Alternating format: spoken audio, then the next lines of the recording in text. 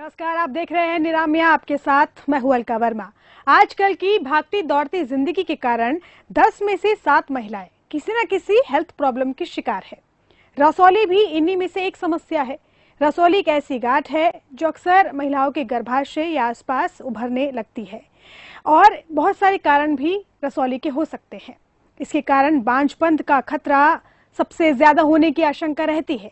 वैसे तो 16 से 50 साल की महिलाएँ कभी भी इस बीमार की चपेट में आ सकती है, लेकिन 30 से 50 साल की महिलाओं में ये समस्या ज़्यादा देखने को मिलती है। इससे पैदा होने वाली सबसे बड़ी समस्या ये है कि ये स्त्री के गर्भ धारण करने की राह को बहुत मुश्किल बना देती है।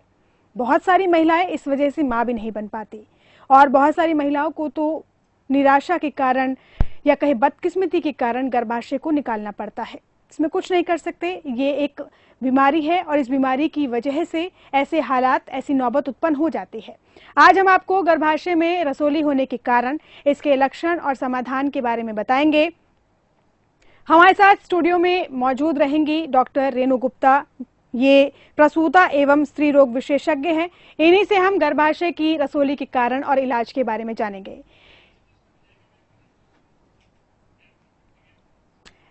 इस बीमारी के कारण क्या है? इलाज क्या है? समाधान क्या है? घबराने की ज़रूरत नहीं है।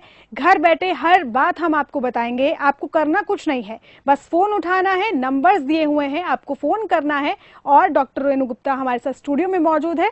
वो आपको तमाम सवालों के, तमाम डाउट्स के सलाह भी देंगी, समाधान भी देंगी और आपसे बातचीत करके आपको हौसला भी देंगी।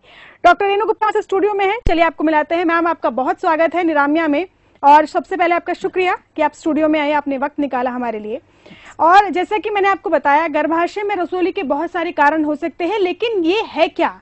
बीमारी आखिर ये है क्या? पहले हम मैम से ये जानेंगे, और फिर ये भी जानेंगे कि कारण क्या है और कैसे इसका इलाज हो सकता है। क्योंकि आजकल बहुत सारी महिलाएँ हैं जिनमें ये समस्या उत्पन्न हो रही है, और सबसे बड़ी जो दिक्कत आ जाती है वो ये कि महिलाएँ फिर समस्या के बाद माँ नहीं बन पाती। बाकी जानकारी डॉक्टर रेणु गुप्ता आपको देंगी।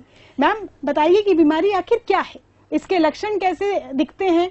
कैसे पहचाने कि ये गर्भाशय में रसोली के लक्षण है? और बहुत सारे पेशेंट्स आपके पास आती होंगी। इलाज के लिए आप क्या रिकमेंडेशन देती हैं? देखिए ऐसा है गर्भाशय की रसौली एक आम समस्या बन चुकी है। अलका जी आपने बिल्कुल ठीक कहा कि ये 20 से 40 वर्ष की आयु की महिलाओं में बहुत ज़्यादा देखा गया है। और बेसिकली यह एक छोटे से मटर के दाने से लेकर एक फुटबॉल तक के साइज़ की हो सकती है। इसकी लोकेशन जो गर्भाशय है बच्चेदानी उसकी मसल वॉल से यह पैदा होता है। और यह इसकी पोजीशन बहुत मैटर करती है कि क्या लक्षण होंगे। अगर यह बच्चेदानी की बाहरी सतह पर है। तो कई बार मरीज़ को इससे कोई भी लक्षण नहीं होते और इंसिडेंटली हमने अल्ट्रासाउंड कराया बाई चांस मरीज़ ने अल्ट्रासाउंड कराया और रसोली के बारे में जानकारी मिलती है।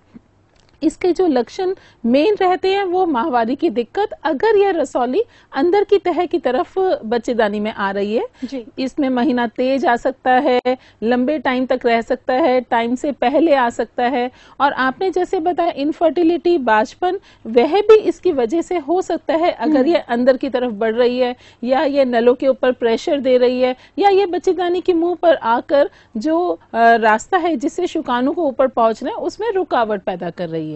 कभी कभी इसमें जो मरीज़ के मन में शंका आती है कि इसमें कोई बड़ी बीमारी कैंसर नहीं बन जाए हम्म। वह भी आशंका हो सकती है बट उसका इंसिडेंस बहुत कॉमन नहीं है। जी।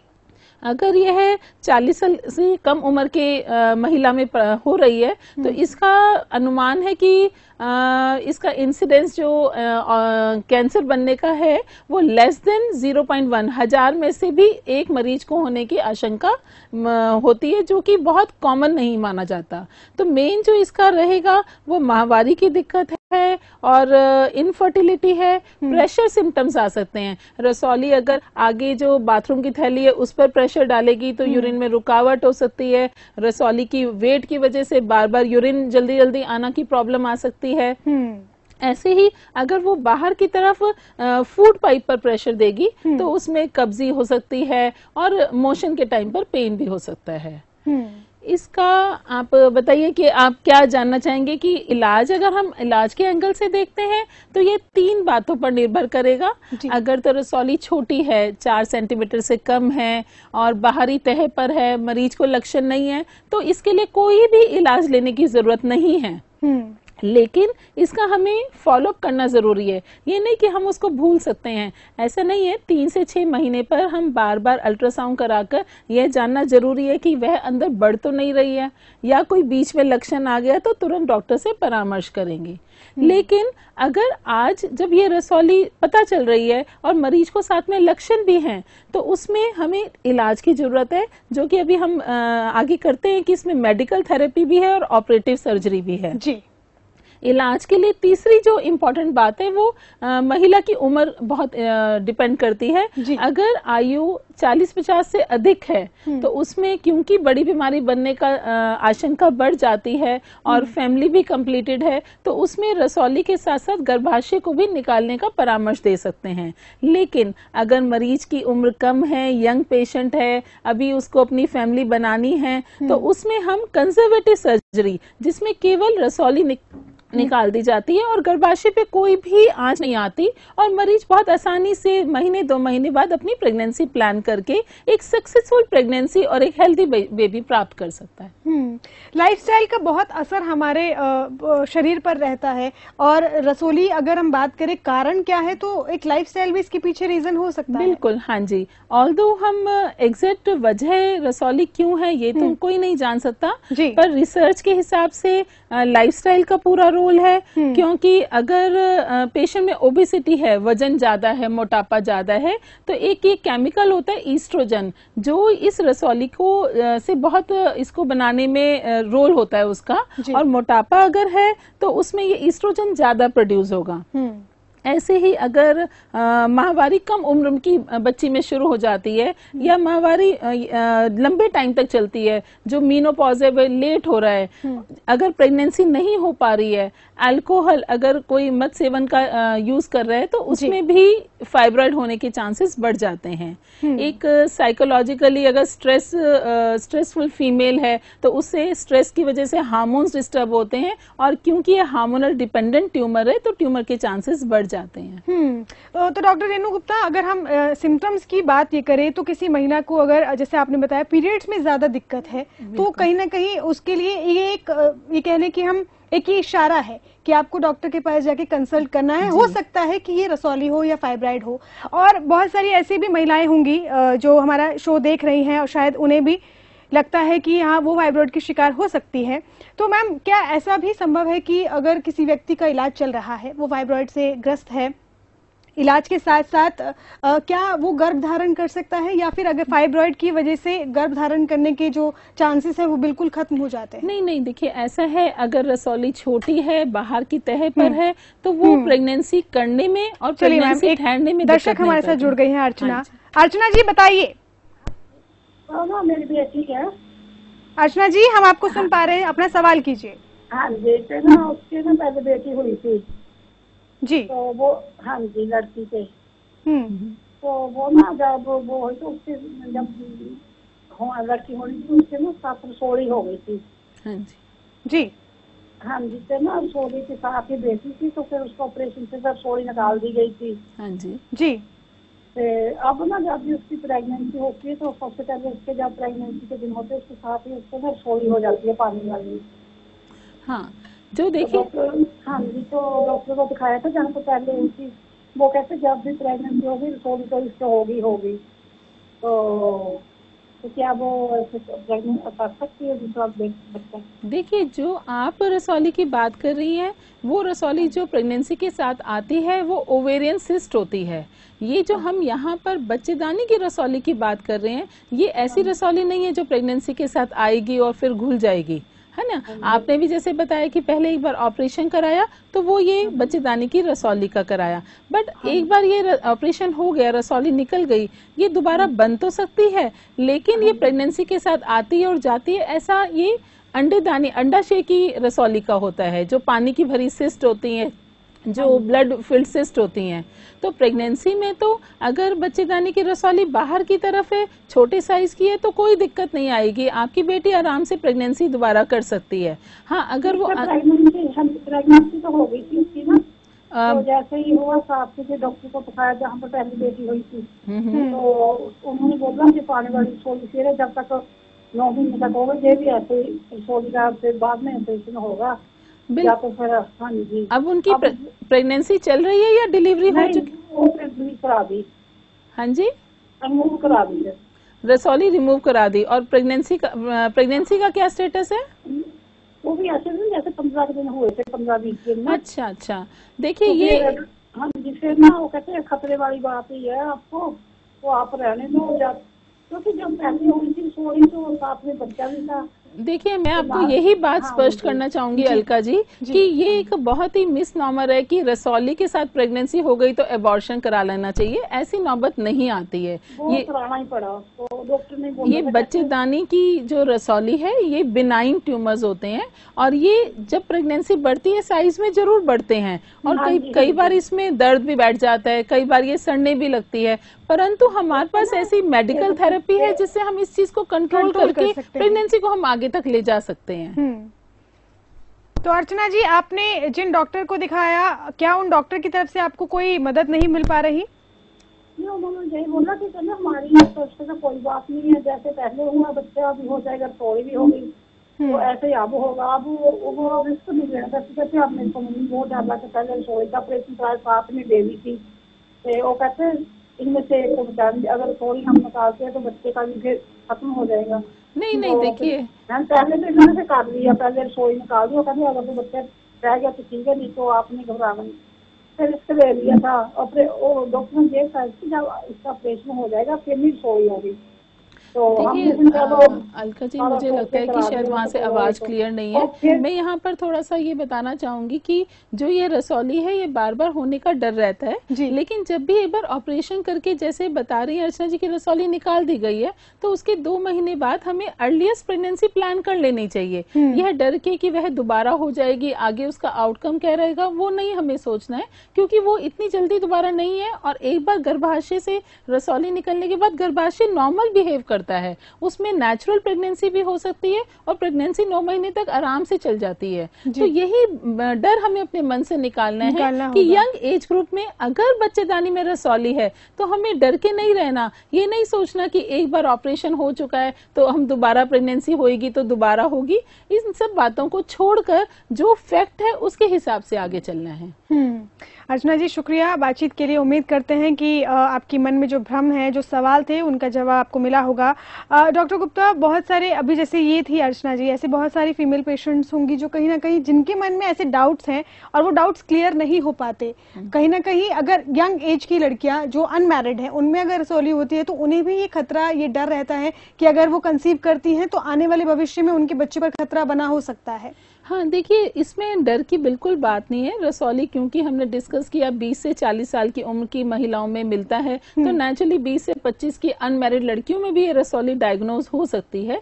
लेकिन अगर हम रेगुलर फॉलोअप में डॉक्टर के हैं और रसौली नहीं बढ़ रही है तो यह प्रेगनेंसी अचीव करने में दिक्कत नहीं करती दिक्कत है। नहीं हाँ इतना ज़रूर है कि रसौली के साथ अगर प्रेगनेंसी हुई है तो हर मरीज़ में तो नहीं बट कुछ मरीज़ में कई बार मिस होने का डर बढ़ जाता है। प्री मैच्योर लेबर पेन्स होने का डर रह जाता है। पूरा नौ महीने पूरे होने के बाद ऑपरेशन से डिलीवरी होने का डर बढ़ जाता है क्योंकि इसमें रसौली जगह ले लेती है। तो जो बच्चे की पोजीशन है वो चेंज हो जाती है। नॉर्मल जो सिर बच्चे का नीचे होना चाहिए नॉर्मल डिलीवरी का वो नहीं होना। स्पेस कम मिलने की वजह से बच्चा आड़ा टेढ़ा और ब्रीच पोजीशन में आ जाता है। हम्म। और इन सब चीज़ों से कॉम्प्लिकेटेड प्रेगनेंसी है ये। हाई रिस्क प्रेगनेंसी है।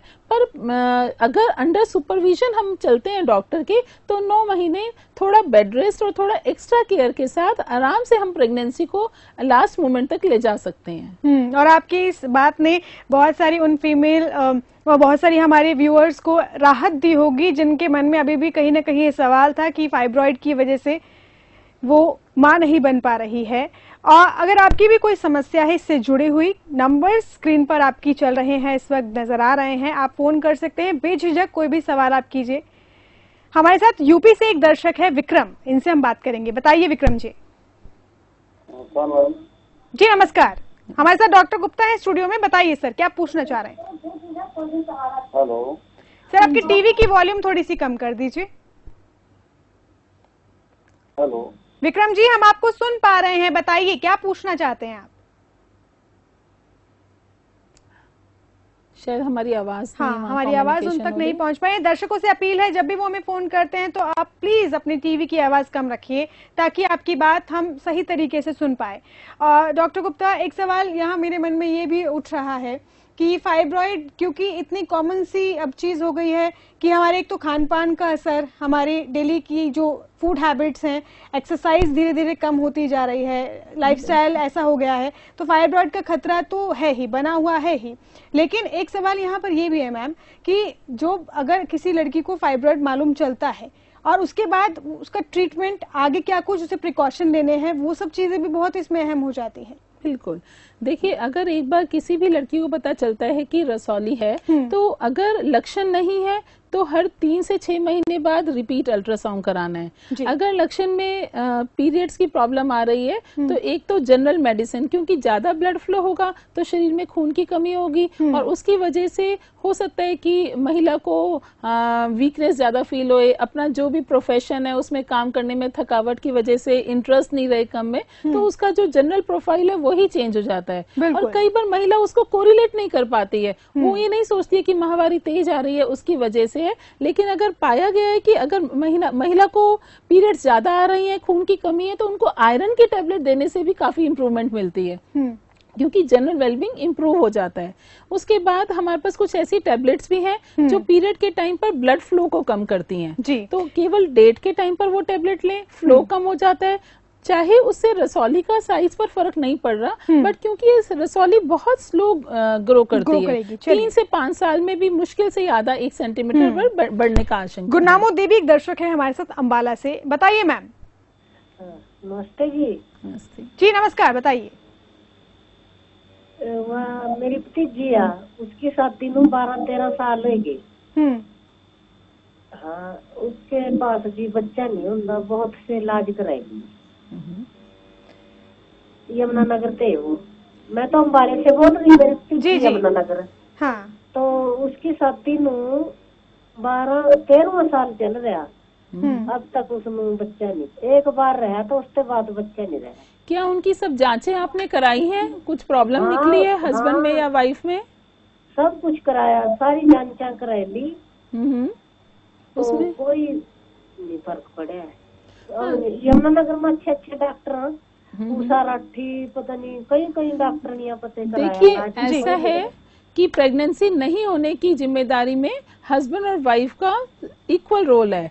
तो क्या हस्बैंड की जाँच हुई है कि उनके सीमेन हाँ, एनालिसिस की हाँ। रिपोर्ट में हाँ प्रॉब्लम तो नहीं आ हाँ रही?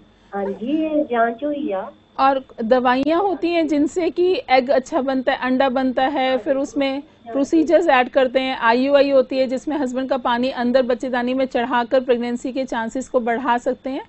अगर रसौली नहीं है और तो भी अगर कंसीव करने में कोई भी हमारे पास इनफर्टाइल कपल है तो उसमें भी स्टेप वाइज मेडिसिन दवाइयाँ हैं इंजेक्शन हैं उनसे नहीं आराम मिलता तो आईयूआई एक टेक्निक है और लास्ट में आईवीएफ और एम्ब्रियो ट्रांसफ़र आ जाता है। जी। सूरज एक दर्शक हमारे साथ इटावा से हैं। बताइए सूरज जी। हेलो।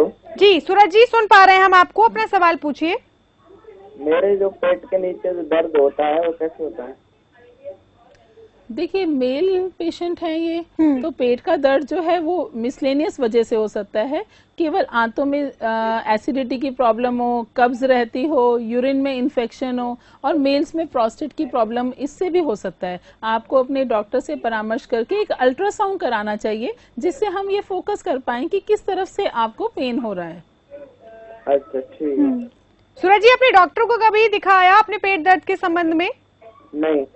नहीं तो फिर आपको एक बार डॉक्टर से परामर्श ज़रूर ले लेना चाहिए क्योंकि पेट दर्द के कई सारे कारण हो सकते हैं जैसे डॉक्टर गुप्ता भी बता रही हैं। और मैम एक सवाल सूरज जी के सवाल से ही यहाँ मैं पूछना चाहूँगी आपसे। रसौली के ज़्यादा चांसेस महिलाओं में रहते हैं या फिर पुरुषों में? देखिए अगर हम बच्चेदानी की रसौली बात कर तो रहे हैं वो तो एक्सक्लूसिवली हाँ, महिलाओं की है होगी। बाकी एक रसौली एक बड़ा ही कॉमन वर्ड है हम्म। किसी भी बॉडी ऑर्गन में अगर कोई भी टिश्यू एक्स्ट्रा ग्रो करते हैं उसको रसौली कहते हैं हम्म। तो उसमें हम मेल और फीमेल रसौली को ऐसे कंपेयर नहीं कर सकते हम्म। हाँ अगर हम सपोज़ की कोई कॉमन ऑर्गन की बात करते हैं जैसे लंग की बात करते हैं जो फेफड़े हैं। उसमें अगर ट्यूमर है तो वो मेल्स में ज़्यादा होता है। स्मोकर्स में ज़्यादा होता है जी। इस तरह रसौली तो एक कॉमन टर्म है जो शरीर के किसी भी ऑर्गन से हो हो सकती है। हम्म। लेकिन क्योंकि हम एक्सक्लूसिवली आज बात कर रहे हैं गर्भाशय की गर्भाशय में होने वाली रसौली की तो अगर आपका भी उससे जुड़ा कोई सवाल है कोई डाउट है आपके मन में या आपको लग रहा है कि आ, मेरे पीरियड्स में प्रॉब्लम है किसी महिला को तो उसके पीछे कारण रसौली हो सकता है तो डॉक्टर गुप्ता हमारे साथ स्टूडियो में मौजूद है। आप फ़ोन करके सलाह ले सकते हैं कारण और सवाल भी कर सकते हैं। अलका जी मैं आपको ये भी बताना चाहेंगे कि इसमें मेडिसिन का जो रोल आया है इसकी जानकारी बहुत कम पब्लिक को है हाँ। उनके मन में ये लगता है रसौली आ गई तो सीधा ऑपरेशन ही करना ज़रूरी है लेकिन कुछ ग्रुप ऑफ़ पेशेंट्स होते हैं जैसे यंग पेशेंट है फैमिली हम्म। कंप्लीटेड है रसौली छोटी है और लक्षण सारे हैं माहवारी ज़्यादा आ रही है हम्म। तो एक स्पेशल कॉपर्टी होती है जिसे मेरेना बोलते हैं हम्म। इसमें हार्मोन लगी हुई कॉपर्टी है वो हम इंसर्ट कर सकते हैं ये नॉर्मल कॉपर्टी जैसे लगती है ओपीडी में उसी टाइप से लग जाती जाती है हम्म। और क्योंकि इसमें हार्मोन्स हैं तो ये धीरे धीरे जो लक्षण माहवारी के उनको कंट्रोल कर लेता है। हम्म। पाँच से पाँच साल तक इसको हम इंसर्ट करवा सकते हैं और इससे पेशेंट को काफ़ी इम्प्रूवमेंट मिलती चलिए मैम एक दर्शक है हमारे साथ मोहम्मद फिरोज दिल्ली से। बताइए मैम मोहम्मद फिरोज। नमस्ते मैम। जी नमस्कार बताइए। मेरा सत्रह साल फिरोज जी आपकी आवाज़ तक नहीं पहुँच पा रही है। हेलो। जी फिरोज जी बताइए। मेरा शादी का सत्रह साल हो गया। जी। और बहुत सारा इलाज करा है। हम्म। तो फ़ायदा तो कहीं हुआ नहीं अभी आईवीएफ के चक्कर में पड़ा हूँ। हम्म। क्या तो कोई वाइफ में कोई प्रॉब्लम डायग्नोज हुई है? जाँच जो कराए थे तो, उनमें? उसका ये सूजन बहुत सारा है। तो आईवीएफ हम्म। कराने हम लोग जब गए तो आईवीएफ वाला बोले कि सत्तर परसेंट चांस है। बिल्कुल। सत्तर परसेंट चांस बताया और हम्म। बहुत सारा पैसा भी उस समय लग गया फिर ऑपरेशन हुआ ऑक्सीजन का उससे फ़ायदा नहीं हुआ फिर सुई चार पाँच गो सुई भी पड़ा चार चार हज़ार का। तो अभी नॉर्मल है अब तीस परसेंट चांस बताया जा रहा है कि कराओगे तो तीस परसेंट चांस उनको माहवारी कैसी आती है? पीरियड्स में कोई प्रॉब्लम रहती है? बहुत दर्द होता है सीज़न हाँ जी। दर्द बहुत होता है दर्द देखो एक ही इन्होंने बहुत इनकी बात से पता चल रहा है कि बहुत महिलाएँ ऐसी हैं जिनको पीरियड में दर्द की मेन प्रॉब्लम है माहवारी ज़्यादा नहीं आ रही है बट हम्म। पेन इतना ज़्यादा है कि उसकी वजह से सारी प्रॉब्लम्स हो रही हैं जी ये जो है ये इसमें रसौली नहीं होते हुए भी एक कंडीशन होती है एंडोमेट्रोसिस जिसमें अंदर बच्चेदानी और बाकी सब टिश्यूज चिपक जाते हैं हम्म। वो चिपकने की वजह से ना केवल महीने में दर्द ज़्यादा बट इनफर्टिलिटी प्रेगनेंसी होने में भी दिक्कत आती है।, है। तो इसमें दूरबीन की जाँच होनी चाहिए। हम्म। एक दूरबीन हम पेट के थ्रू डाल के उस सारी टिश्यूज को स्टडी एनालिसिस करके जहाँ कहीं चिपकेपन को हम ब्रेक कर सकते हैं और हम्म। नलों को चेक कर सकते हैं वो ट्रीटमेंट इनको हम सलाह देना चाहेंगे। हम्म। चलिए हमारे साथ सुनील भी हैं लखनऊ से इनसे भी हम बात करेंगे। बताइए सुनील जी। नमस्कार मैम। नमस्कार। जी सर बताइए। मैम हेलो नमस्कार मैम। जी नमस्कार सुनील जी। बताइए सवाल पूछिए। मैम मेरा ये सवाल है मेरी वाइफ के अभी अल्ट्रासाउंड कराया था लास्ट वीक जी। तो उन्हें रसोली बताई है three point nine M M से four point five M M तक है। ठीक है जी। जी। उनकी उम्र कितनी होगी? उनकी उम्र ट्वेंटी फाइव है मैम। बिल्कुल। क्या आपकी फैमिली अभी प्रेगनेंसी करनी है? बच्चा है आपके पास या अभी प्रेगनेंसी का सोच रहे हैं? हाँ सोच रहे हैं मैम, बच्चा नहीं है, बस शादी को भी ये समझ लो, चार पाँच महीने हुए गए ठीक है जी। सुनील जी, ऐसा है कि रसौली का साइज़ छोटा है? एज आपकी वाइफ की कम है, आपको अभी फैमिली बनानी है तो ऐसे केस में अगर अल्ट्रासाउंड से हमें यह पता चलता है कि माहवारी में भी इनको जैसे दिक्कत नहीं आ रही, बाहर की तरफ़ ये है तो आप बिल्कुल चिंता नहीं करिए रसौली की, जो अपना नेचुरल प्लानिंग है प्रेगनेंसी की, वो करिए, उससे रिज़ल्ट नहीं आते तो बच्चा ठहरने की जो हम दवाइयाँ देते हैं, उसकी हेल्प लेकर प्रेगनेंसी प्लान कर सकते हैं। ज़्यादा चांसेस ये है कि यह रसौली क्योंकि छोटे साइज़ की है तो इनको दिक्कत नहीं करेगी और ये प्रेगनेंसी प्राप्त कर पाएँगे। हम्म। तो मैम इनकी दवाई चली हुई है डॉक्टर बिल्कुल। बस इतना ध्यान रखिएगा जब भी इनकी प्रेगनेंसी टेस्ट पॉजिटिव आता है तो फाइब्रॉइड की वजह से जैसे अभी हमने डिस्कस किया कि हाई रिस्क प्रेगनेंसी होती है तो डॉक्टर की सुपरविजन में रहकर टाइमली ट्रीटमेंट कराते रहिए क्योंकि यह एक फैक्ट है अलका जी की जैसे जैसे प्रेगनेंसी बढ़ती है रसौली भी अंदर बॉडी में बढ़ती है क्योंकि हम्म। उसकी ब्लड सप्लाई बढ़ जाती है क्योंकि बच्चेदानी ग्रो हो रही होती है तो हम्म। कई बार फाइब्रॉइड काफ़ी बड़े आकार के हो जाते हैं जैसे जैसे प्रेगनेंसी का टाइम बढ़ता है। बट उसमें कोई घबराने की ज़रूरत नहीं है अगर उसमें कुछ भी कॉम्प्लिकेशन हो रही है तो वो दवाइयों से और ट्रीटमेंट से उसको हम सेटल कर पाते हैं। जी। तो सुनील जी, आपको घबराने की ज़रूरत नहीं है, बस डॉक्टर्स की निगरानी में रहेंगी आपकी पत्नी तो एक हेल्दी बेबी को जन्म दे पाएँगी। मैम, हमारे पास वक्त की कमी है वरना हम आपसे बहुत सारी बातें करते, बहुत सारे सवाल पूछते, लेकिन स्टूडियो में आने के लिए आपका बहुत बहुत शुक्रिया। और बहुत सारे दर्शक हमारे साथ जुड़े, बहुत सारी महिलाओं के मन में जो सवाल रहे, उनके जवाब हमने दिए। और एक बात जो मैं हमेशा कहती हूँ, वो आज भी कहूँगी कि आप खुश रहिए हेल्दी रहिए। और अगर आपको कहीं भी ऐसा लगता है कि आप बीमार हैं तो डॉक्टर के पास जाना ना भूलें, क्योंकि कई बार हम अनदेखी करते हैं अपने स्वास्थ्य की, इसी वजह से हमें कई सारी बीमारियाँ झेलनी पड़ती है। आज निरामिया में इतना ही। खुश रहिए हेल्दी रहिए, देखते रहिए खबर फास्ट।